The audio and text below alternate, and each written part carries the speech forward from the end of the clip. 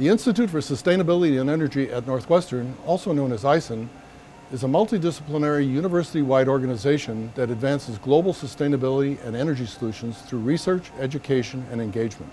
ISEN accelerates the speed, scope, and scale of this work by focusing on two major areas, climate and energy transition and resilient communities. As Northwestern's hub for sustainability and energy research, ISEN brings university faculty together across all departments and schools to address these very important challenges.